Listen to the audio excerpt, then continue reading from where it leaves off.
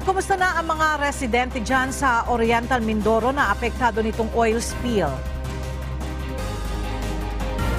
Ela kinumpirma nga ni ah, Department of Health OIC Undersecretary Maria Rosario Berhere na nakatanggap na sila ng ulat hinggil sa mga residenteng nagkakasakit dahil sa langis na tumagas mula sa MT Princess Empress anim na araw na ang nakalipas.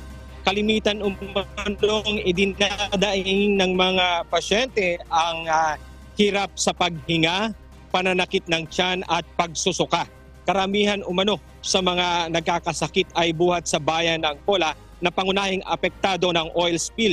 Ela, bagay na ibinibigyan na ng pansin ng lokal na pamahalaan. Oh, well, there are certain reports, ah, paisa-isa naman, ano, nagkakaroon ng hirap sa paghinga, sumakit yung siya, nagsuka. Pero yung tatlong naunang nai-report kahapon, naka-recover na. Ngayon, meron sila Mayor Ina na binubuo pa rin na report na meron silang na note pa rin na nagkakaroon ng mga ganitong minor, minor lang na mga reaction. Ela, kasabay ng pagbisita nito sa Pola Oriental Mindoro kahapon, ipasusuri nito ang ah, mga pinagkukunang tubig na matatagpuan sa coastal area na maaaring maapektuhan ng pagtagas ng ah, langis. Dito malalaman kung kontaminado na rin ito ng langis. Sa ngayon, Ela, hindi muna papayagan ang mga residente na kumuha ng tubig sa mga poso gayon din sa mga balon. Lahat ng barangay captains at kagawad ay ating inuutusan ngayong oras na ito.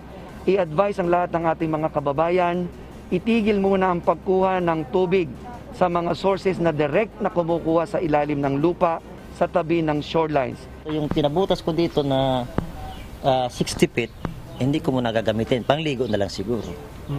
Yun ang gagawin ko. Pero sa pagluluto, hindi ko gagamitin. Pero ang provincial government nakahandang mamahagi ng tubig inumin para sa mga apektadong barangay upang masiguro na maiingatan ang mga mamamayan sa maaaring maging epekto ng langis sa kalusugan.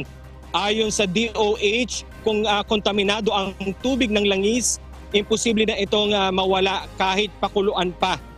Magpapatupad na rin ng curfew sa mga kabataan sa Pola para maiwasan ang ah, paglabas ng bahay at uh, malanghap ang masangsang na amoy mula sa tumagas na langis.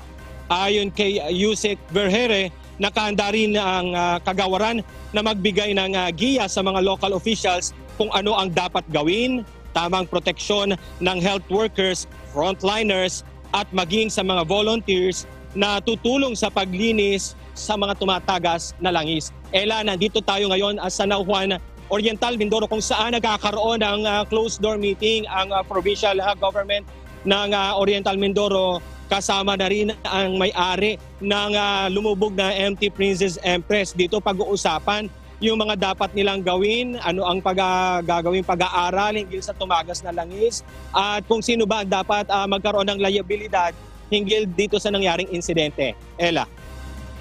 Alright, maraming salamat Alan Manansalan Live na nagulat mula sa Nawan Oriental Mindoro.